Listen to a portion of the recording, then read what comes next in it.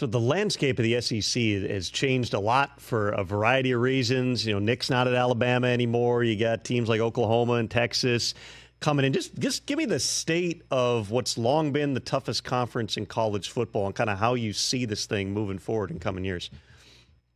Well, I th- I think it's interesting because you just added two uh, blue bloods of college football in Oklahoma and Texas, and you know, Oklahoma is used to competing for the conference championship every year. And I thought Coach Venables answered that question uh, excellent yesterday. Like they're not running from the SEC, they're running to it, and their expectations of their program's not changing. So they're expecting to be a contender every year. I know the state of Texas expects to contend every year.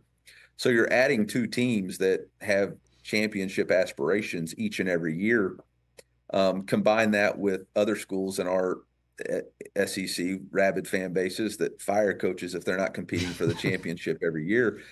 So I don't think the competition's going anywhere. Um, I think it's just going to elevate it. Now, I think the the dynamic that has changed is that without divisions, um, everybody is uniquely running their own race. Like, you know, we don't play Texas this year. We don't play Georgia. We don't play Tennessee. We don't play Florida. We don't play Kentucky.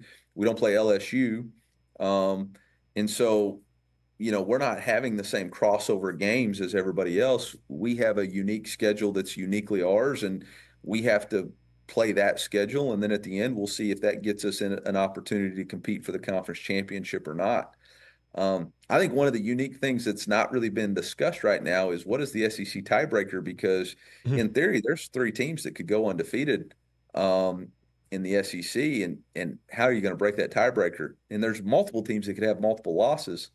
And so I think that's something that that is yet to be finalized that we got to figure out. That sounds a lot like uh, some of the debates that happened pre-playoff when you, you had split national championships. You had everybody, you know, hanging a banner and deciding they're the ones. Uh, your schedule, it is, it is interesting going through because I'm looking for the same things you just mentioned, which is you don't play Texas this year. You got a stretch of at Alabama on October 26th, a bye, and then home against Oklahoma, which I know you're going one game at a time, but that seems like kind of where some of the separation might take place. And your fans had to be through the roof of uh, something like a, a conference game against Oklahoma Oklahoma at home in November. Like that's just as storylines go, that's a lot of fun. Yeah, I mean, I think uh, with with X and social media, I mean, uh, there's everybody's looking forward to uh, the November 9th game. In fact, I was getting drilled about it yesterday at SEC Media Days. But as a head coach and as a team, you realize that the only way that November 9th game is really significant is if you take care of the games prior to that. And you know, there's no chance that this football team's going to overlook a Boston College who beat us in overtime three years ago. There's no chance that we don't have a tremendous amount of respect for going to College Station and trying to win in front of 105,000 screaming fans with with the Yellville and all that different stuff. And Auburn at home, um, I mean, that's that's a really good.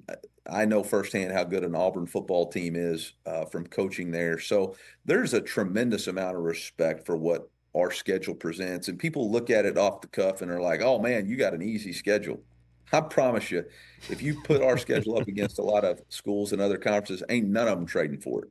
Uh, we we have the 29th hardest schedule in the country, um, and there's a lot of schools at other P4 conferences that wouldn't hold. They would wilt uh, if they put up our schedule. So, you know, I, I it is what it is uh, as far as looking at it, but I have a lot of respect for what we have to do in order to have the success that we want. Catch the Rich Eisen show every single day on the Roku channel, 12 to 3 Eastern for free.